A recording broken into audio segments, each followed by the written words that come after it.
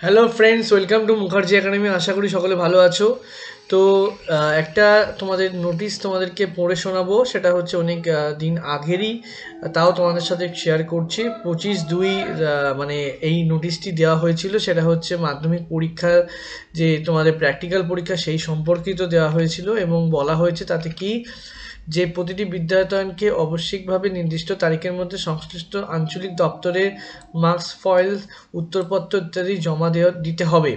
যে পরীক্ষার্থী পূর্বে উচ্চ মাধ্যমিক পরীক্ষায় উত্তীর্ণ হয়েছে, তার পুনরায় ব্যবহারিক পরীক্ষা নেওয়ার, দেওয়ার প্রয়োজন নেই। যারা অলরেডি পরীক্ষা দিয়ে মানে উত্তীর্ণ হয়ে গেছে, যারা বিগত বছরে যারা তাদেরকে আবার কোনো পরীক্ষা দেওয়ার জন্য প্র্যাকটিক্যাল পরীক্ষার কোনো ব্যবস্থা করা দরকার নেই। বলছে, উল্লেখ্য প্র্যাকটিক্যালের অন্তর্গত প্রজেক্ট নোটবুক এবং ল্যাবরেটরি নোটবুক এই পেপারের উত্তরপত্র ও মার্কস মার্কসের সাথে আঞ্চলিক কার্যালয়ে জমা দিতে হবে না।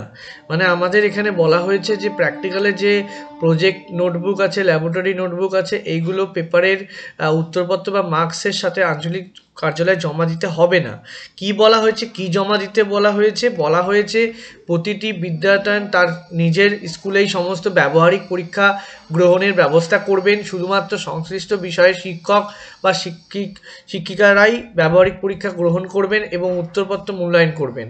মানে যে পরীক্ষাটা হবে প্র্যাকটিক্যাল পরীক্ষা, সেটা হচ্ছে নিজের স্কুলেই হবে এবং নিজের যে যে শিক্ষক আছে বিষয়ে, যে কম্পিউটার বা বায়োলজি বা যে বিষয়ে যে শিক্ষক আছে, সেই শিক্ষকই কিন্তু এই প্র্যাকটিক্যাল পরীক্ষাটা নেবে। যদি কোনো স্কুলে কোনো বিষয়ে সেই সময় শিক্ষক বা শিক্ষিকা না থাকেন, যদি কোনো শিক্ষিকা বা শিক্ষক যদি না উপস্থিত হয়, তাহলে পার্শ্ববর্তী কোনো বিদ্যায়তনের শিক্ষক বা শিক্ষকের ব্যবহারিক পরীক্ষার জন্য নিয়োগ করা যায়। তবে সেই বিষয়ে শিক্ষক বা শিক্ষক শিক্ষিকার সম্মতি এবং সংশ্লিষ্ট আহ, বিদ্যায়তনের প্রদানের নো অবজেকশন সার্টিফিকেট পাওয়ার পর সংশ্লিষ্ট আঞ্চলিক দপ্তর থেকে অনুমতি নিতে হবে। মানে অন্য স্কুল থেকে শিক্ষক নেওয়া যেতে পারে যদি শিক্ষক না থাকে স্কুলে। ঠিক আছে? এরপরে পড়ে শোনাচ্ছি তোমাদেরকে যেটা হচ্ছে মার্কস ফয়েল মার্কস ফয়েল মানে হচ্ছে আমাদের যে যাতে আমাদের পরীক্ষার যে ফলাফলগুলো লেখা হয় মানে মার্কসগুলো লেখা হয়, সেই ফয়েলগুলো তিনটে অংশ থাকে। এই মার্কস পূরণ করার আগে নির্দিষ্ট জায়গায় পরীক্ষার্থী স্বাক্ষর করানো বাধ্যতামূলক। মানে যেখানে কি থাকে, যেখানে তোমরা যে পরীক্ষা দিচ্ছ, তার একটা অ্যাটেন্ডেন্স নেওয়া হয়ে থাকে, পরীক্ষা তোমরা যে দিয়েছ, তার জন্য তোমাদের কিন্তু অবশ্যই পরীক্ষা দেওয়ার সময় মাথায় রাখতে হবে যে তোমাদের কিন্তু সিগনেচার যে মার্কস ফয়েল আছে মার্কস ফয়েলে কিন্তু অবশ্যই তোমাদের সিগনেচার কিন্তু দরকার। এবং যদি কোনো পরীক্ষার্থী অনুপস্থিত থাকে অনুপস্থিত থাকে, তাহলে স্বাক্ষর করার জায়গায় লাল কালিতে এ বি লিখে দিতে হবে। যদি কেউ অনুপস্থিত মানে অ্যাবসেন্ট হয়, তাহলে এ বি লিখতে হবে। যদি কোনো পরীক্ষার স্বাক্ষর না থাকে, তাহলে সেই পরীক্ষার্থীকে অনু, অনুপস্থিত হিসাবে গণ্য করা হবে। তাহলে অবশ্যই কিন্তু মাথায় রাখবে যখন মার্কস ফয়েল যেটা তোমাদের আছে, যেখানে মার্কসগুলোকে বসানো হবে মার্কস পূরণ করা হবে, সেখানে কিন্তু অবশ্যই তোমরা সিগনেচার করবে। যদি সিগনেচার করতে ভুলে যাও, তাহলে কিন্তু তোমাদেরকে অনুপস্থিত হিসাবে গণ্য করা হবে এটা মাথায় রাখবে। এবং আরও কিছু নোটিশ দেওয়া হয়েছে প্র্যাকটিক্যাল পরীক্ষা সম্পর্কে, যেটা বলা হয়েছে যে ব্যবহারিক পরীক্ষার উত্তরপত্র মূল্যায়নের পরে মার্কস ফয়েলে মার্কস লিখে পরীক্ষক নির্দিষ্ট জায়গায় স্বাক্ষর করবেন।